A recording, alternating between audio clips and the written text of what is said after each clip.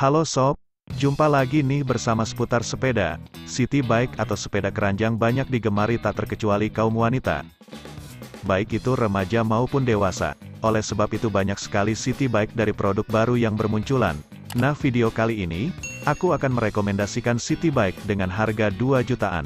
Yuk simak videonya. Pertama, ada OVO by Pacific. Di akhir tahun 2022 OVO muncul dengan tampilan warna baru yaitu warna mint.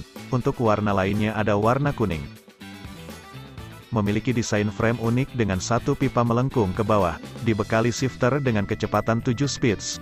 Untuk frame berbahan alloy, di bagian pengeriman menggunakan rem fabric, kemudian wheelset rims atau velg alloy double wall, dengan ukuran ban 26 inch, untuk keranjang dari besi, bisa untuk menaruh barang, sedangkan bagasi belakang bisa banget digunakan untuk boncengan, berbahan besi.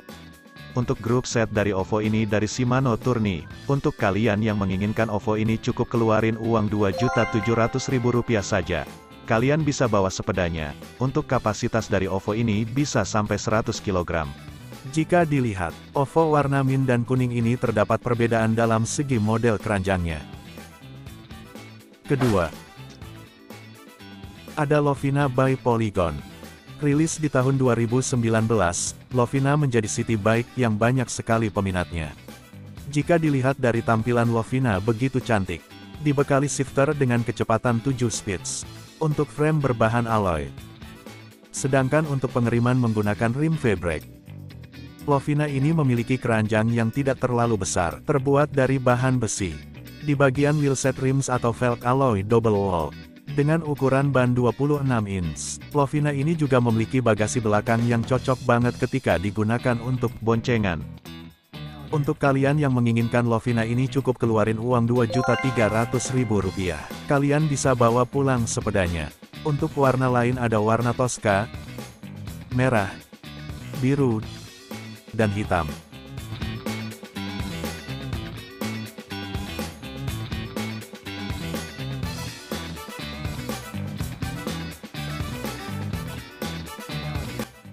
Ketiga, ada TC3650i dari United. Muncul di tahun 2020. Produk United ini menjadi rekomendasi buat kalian. Tampil dengan warna baru, memiliki varian warna lain yaitu warna biru dan pink. Desain frame dua pipa. Jika dilihat dari dekat pipa yang bawah mempunyai ukuran tebal, untuk bahan framenya alloy internal kabel routing. Dibekali shifter dengan kecepatan 7 speeds memiliki keranjang yang terbuat dari besi. Di bagian pengeriman United ini memakai V-brake, baik depan maupun belakang. Untuk wheelset rim atau velg alloy double wall dengan ukuran 26 inch. Di bagian belakang tentunya ada bagasi yang cocok digunakan untuk boncengan. Untuk kapasitas dari United ini kurang lebih 100 kg. Jika kalian menginginkan sepeda keranjang ini cukup keluarin uang Rp2.700.000. Keempat, ada elemen karen. Memiliki desain unik dengan warna lebih kalem. Hadir dengan warna grey dan pink magenta. Tak heran jika elemen ini banyak peminatnya. Dibekali shifter dengan rasio kecepatan 7 speeds. Frame dari alloy sudah internal kabel routing. Memiliki model keranjang yang bagus banget. Untuk pengeriman menggunakan rim fabric. Kemudian di bagian rims atau velg alloy dengan ukuran 26 inch. Di bagian bagasi terbuat dari besi yang bisa untuk boncengan. Elemen karen ini dibekali grup set dari Shimano. Untuk kalian yang menginginkan sepeda ini cukup keluarin uang Rp2.100.000. Kalian bisa bawa pulang sepedanya. Kelima, ada Ravela Light by Pacific. Ravela Light didesain untuk mendukung aktivitas jarak dekat sekaligus serbaguna dengan adanya keranjang depan dan bagasi belakang.